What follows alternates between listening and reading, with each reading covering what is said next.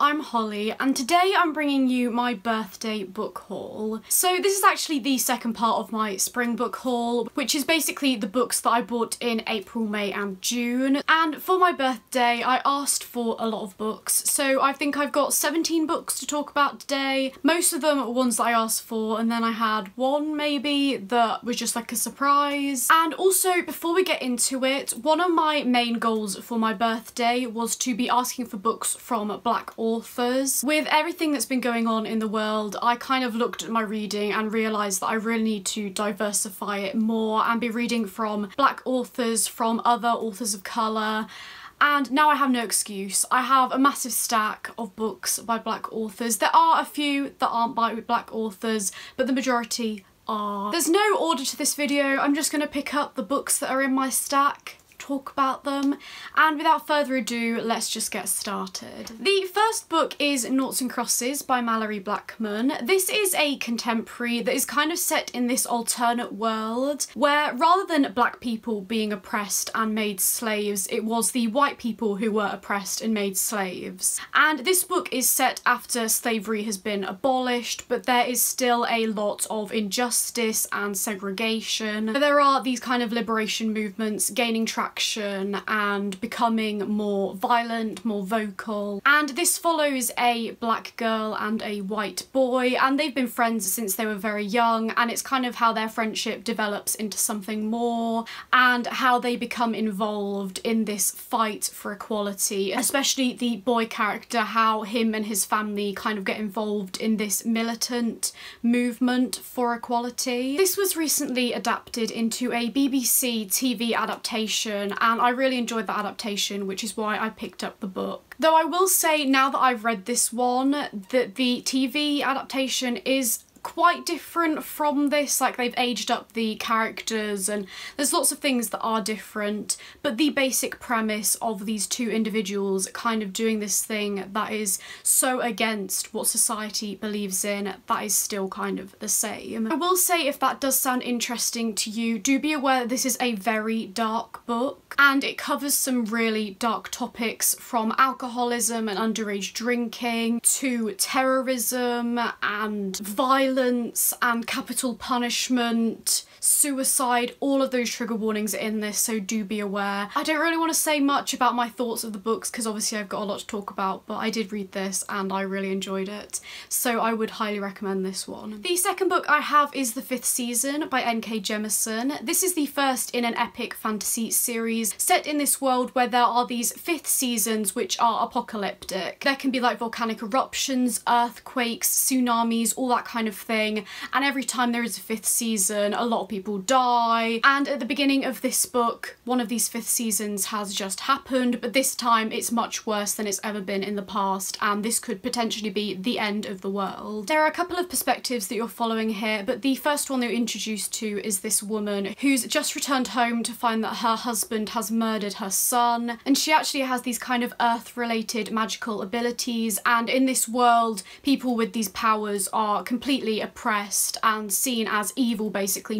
non-human. So it's very much about oppression and survival and this is another one that I have already read and I really loved. So yeah, another one that I think that you should definitely pick up. I also got The Black Flamingo by Dean Atta. This is a novel written in verse, so it's written in poetry and this follows a boy through his childhood and his early teens and I believe into his early adulthood and it's kind of him exploring gender and sexuality and he gets involved in the drag scene. I've heard amazing things about this book, so I'm very excited to get to this. I also have An Unkindness of Ghosts by Rivers Solomon. This is a science fiction set on this ship where the dark-skinned sharecroppers are incredibly oppressed. They're often subject to violence and sexual assault, especially the women, and you're following one of these dark-skinned sharecroppers, Asta, who has kind of become the doctor for the people, and there's hints of rebellion brewing. There isn't too much rebellion in this. I think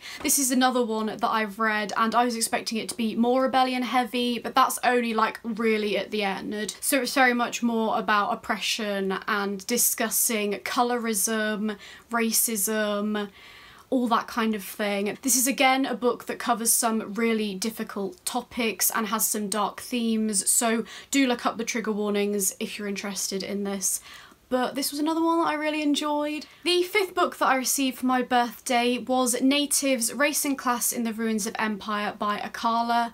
This is a non-fiction and it's pretty self-explanatory. It's about race and class and I believe that it's very much focused on Britain. I've watched a lot of interviews of Akala and I really loved the insights that he could provide so I'm very excited to see what he will say in novel format. I definitely want to be reading more non-fiction and I think this is a good place to start. Then I received two books from the same series and they are Assassin's Apprentice and Assassin's Quest by Robin Hobb. These are the first and third book in the Farseer trilogy which is a fantasy trilogy following a boy called Fitz who is the bastard son of the prince. When Fitz is a young boy his grandfather on his mother's side takes him to the keep and says we don't want to look after him anymore his father needs to take responsibility for him but before Fitz even meets his father his father abdicates his position and Fitz ends up getting raised by the stable master and then he becomes enlisted by the king to become an assassin. I've absolutely loved this series so far. I feel like I've talked about it quite a lot on my channel but I have already read Assassin's Apprentice. I read this initially through a library book so I wanted to get a copy of the book because I love this series so much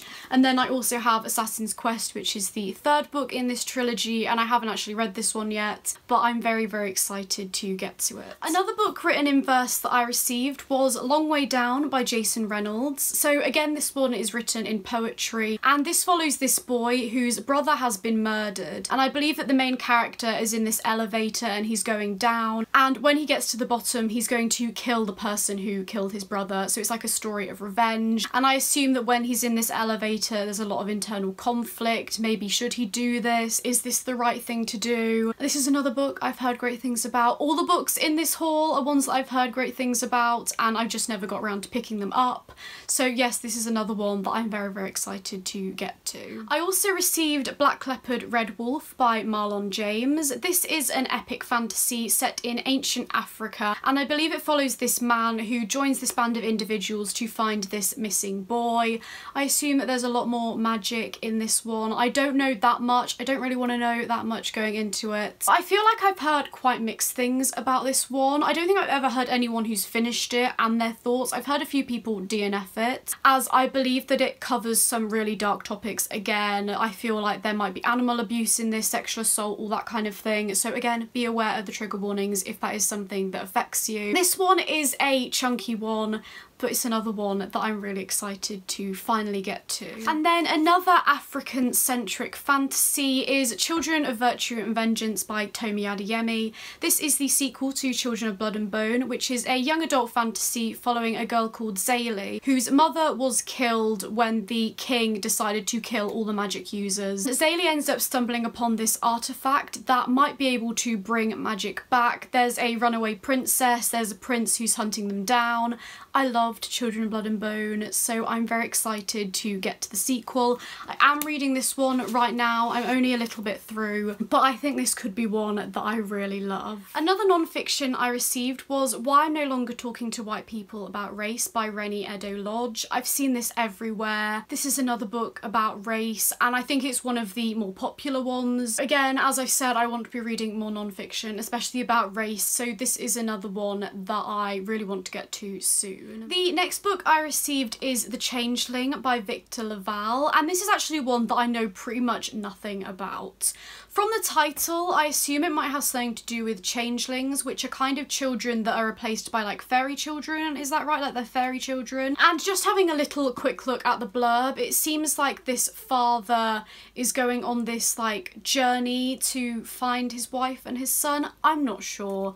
But I love this cover and this is a book that I've heard really good things about. I have read another book by Victor LaValle which was The Ballad of Black Tom. That was kind of a reimagining of a H.P. Lovecraft story. So again, another book that I'm really excited to get to. I also got another book by N.K. Jemisin which was How Long Till Black Future Month. This is a short story collection that I believe is very black centric. I'm especially excited to get to this one because I've loved everything that I've read by N.K. K.J. Jemisin so far. So I've read the fifth season and then the Hundred Thousand Kingdoms. I loved both of them. I don't really read that many short stories, so I'm not sure if the actual format of this is going to be my favourite, but I'm always looking to try new things. And again, I'm very, very excited to get to this. The next book I have is Queenie by Candice Carty-Williams. I have absolutely no idea what this is about. The blurb isn't very enlightening. It seems like you're just following this woman called Queenie. It says, meet Queenie, journalist,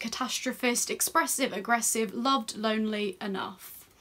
I assume that it's a contemporary. I think it looks at love, family, friendship, all that kind of thing. It's not really a genre that I read much of, but I've heard great things about this. It was a Sunday Times bestseller. It was longlisted for the Woman's Prize for Fiction. I think it's going to be a really good read. And then I also got The Hero of Ages by Brandon Sanderson. This is the third book in the first Mistborn series, which is set in a world where the Dark Lord won. And because of this, life for the majority of people is pretty rubbish rubbish. A lot of people are oppressed and there is kind of revolution brewing. You're following a few characters who are in the revolution and one thing that's really interesting about this world is that the magic system is based on metal. So some people are able to consume different types of metal and get certain abilities and the people who can consume all the types of metal are called Mistborn. I've only read the first book in this series so far but I really really enjoyed that. I was anticipating to read the second one in June but I never got around to it so this will be put off a little bit longer but I'm hoping to continue with this series soon. And then the second to last book I received was Where the Crawdads Sing by Delia Owens. This was the one book that I didn't ask for, this was kind of a surprise but I have seen this cover around and I believe that it's set in America and maybe it follows this girl whose family all die and then she kind of looks after herself in the wilderness from a young age. I'm not entirely sure, that synopsis could be absolutely rubbish. I see this one popping up a lot on like bestseller lists yeah, Sunday Times bestseller. And it is one that has been in kind of my periphery for a while. Like I've seen it, I've been like, oh, interesting, I'm not sure, I haven't heard anyone's thoughts on this. And obviously, again, it's not really a genre that I read much of, but I'm always looking to expand and I think this will be a good place to start.